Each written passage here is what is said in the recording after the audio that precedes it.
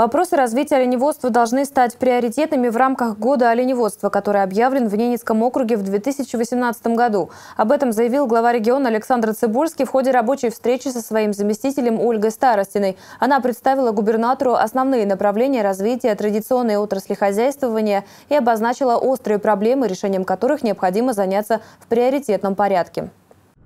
В рамках года оленеводства в Ненецком округе утвержден план мероприятий. Его основные направления – создание условий для развития северного оленеводства, комфортной жизни и соцгарантии оленеводам и чумработницам, совершенствование нормативно-правовой базы. Среди первых шагов в реализации плана – подготовка кадров для отрасли.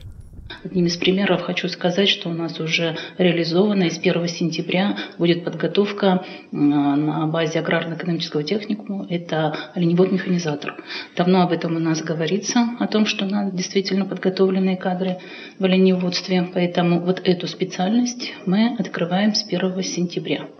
Оленеводы у нас также поднимали вопросы в части получения прав на снегоходы.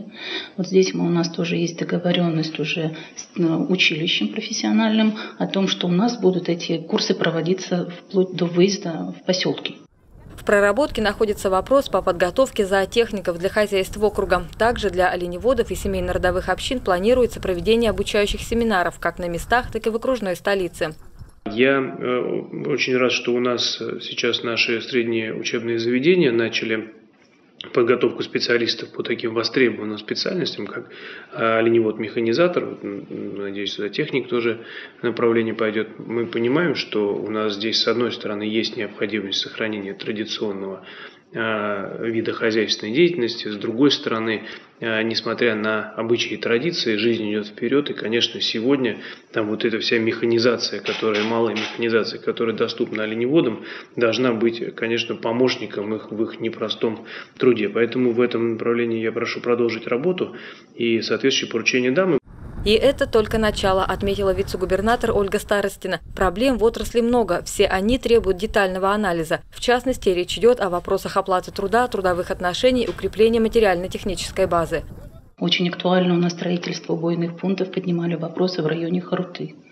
Это у нас там есть эм, и СПК «Рассвет Севера», и э, очень обращаются к нам за помощью оленеводы, частники общины ИМТО то сегодня вот здесь помощь обязательно нужна и строительство убойных пунктов за счет каких средств или как-то мы, может, будем искать инвестора, которые способны будут реализовать эти проекты. Это точно область, которая может быть востребована у частного инвестора и качество, и, э, и, и э, самое главное, прибыль от такого рода деятельности, мне кажется, может быть значительно выше, чем на это тратить исключительно бюджетные деньги.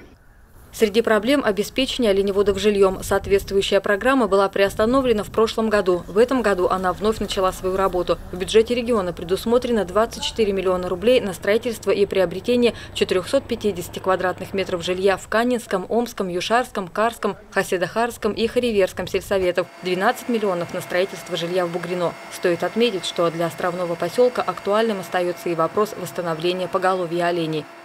Хочу отметить, что в этом году нам удалось в марте месяце произвести просчет оленей, что давно не удавалось.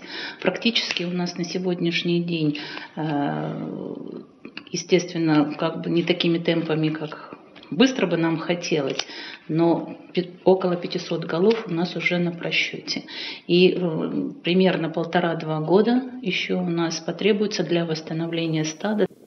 Восстановление поголовья оленей – это лишь один из пунктов в плане по развитию поселка Бугрино. План мероприятий составлен и по развитию поселка Нельмин-Нос. Он имеет национальные традиции и может стать центром притяжения туристов. Мария Владимирова, Вадим Стасюк, телеканал «Север».